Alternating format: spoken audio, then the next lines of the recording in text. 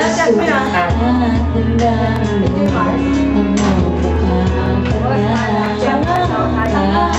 subscribe cho kênh Ghiền Mì Gõ